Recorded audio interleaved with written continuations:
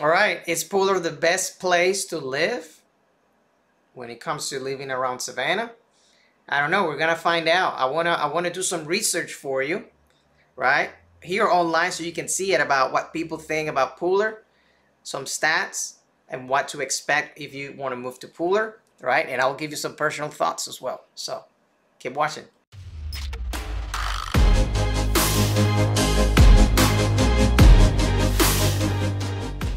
All right, here we are. First thing first, key findings about Pooler, right? It says that it has a score of 69, which is considered average, right?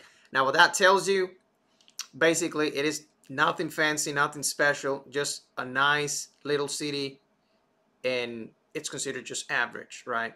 Now, the crime rate on the other side is 11% lower than the Georgia average, and I, I think I would agree with that. I, I live in the south side of Savannah myself, and Pooler is definitely a little nicer for sure. Now, cost of living in Pooler, 9% higher than the Georgia average, and the real estate prices are 23% higher than the Georgia average. Now, I'm recording this video in January 22nd of 2022.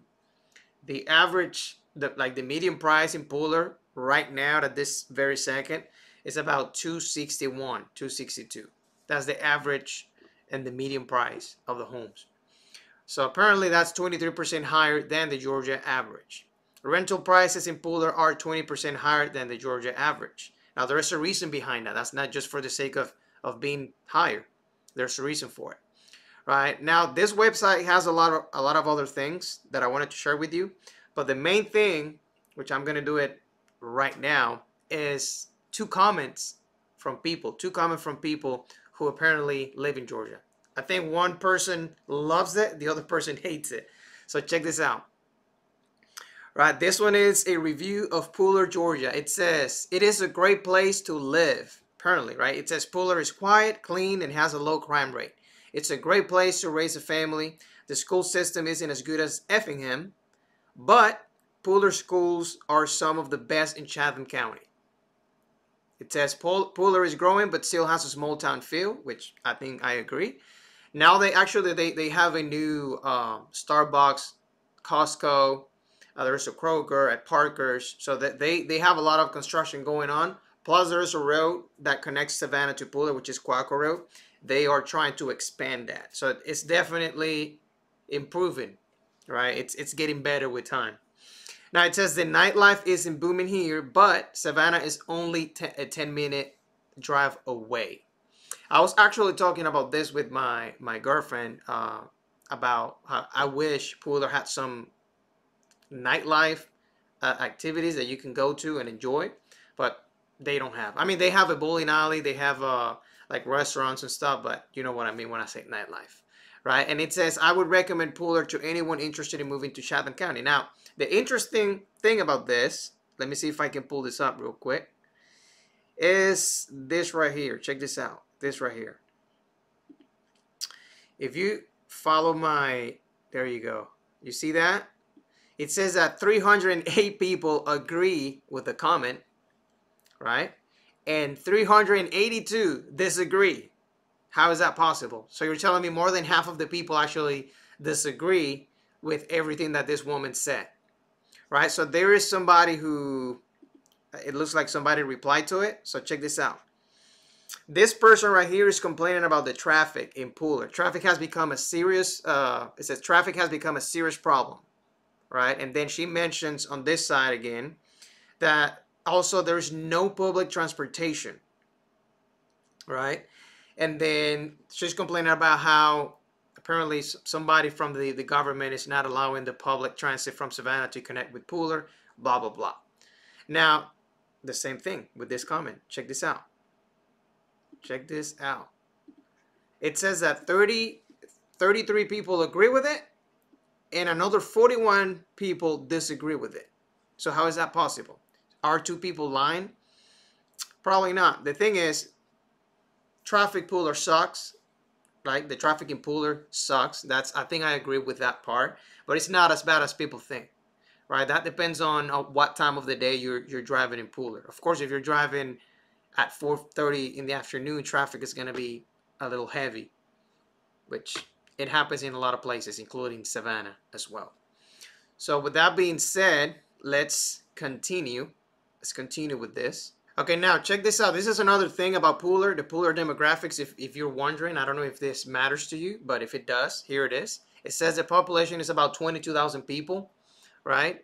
Um, median age is about 37, which that that tells you something. There's a lot of young people there. It's not like an old people community. There's a lot of a lot of young people, right? It says 61% of the people are married.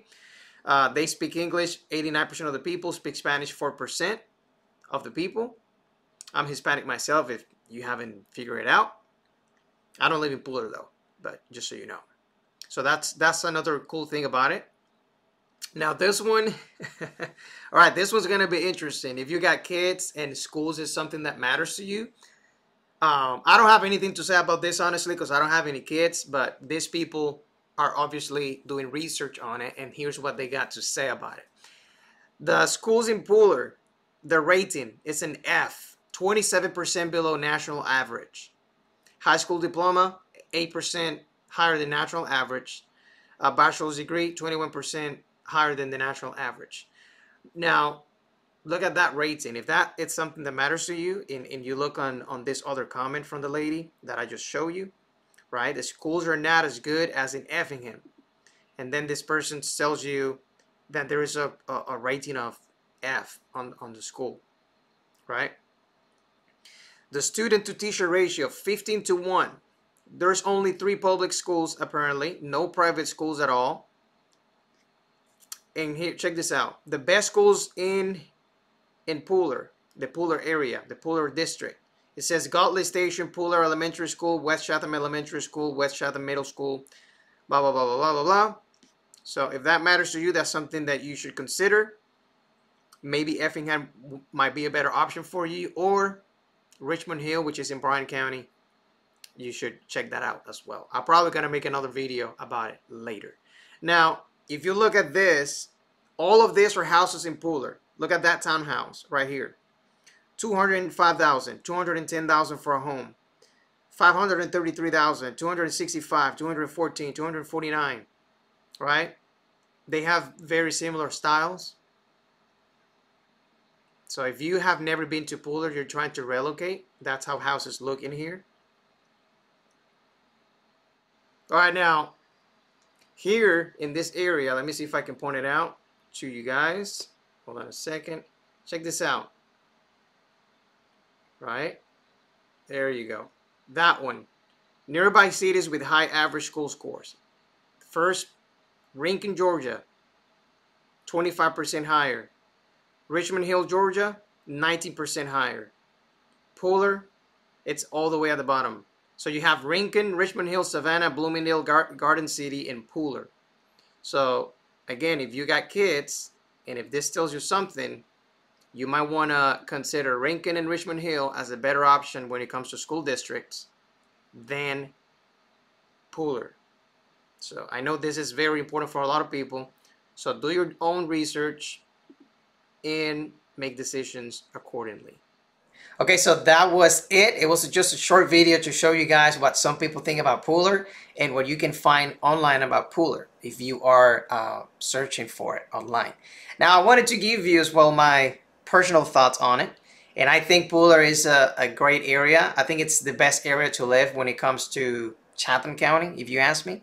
I think it's better than the South Side. I think it, I live myself in the South Side, by the way. I, mean, I don't live in Pooler, but I think Pooler is better. Port Wentworth is great.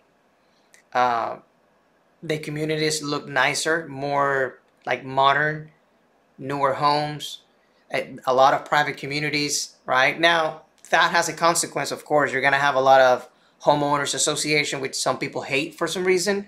A lot of people don't like having to pay a monthly fee.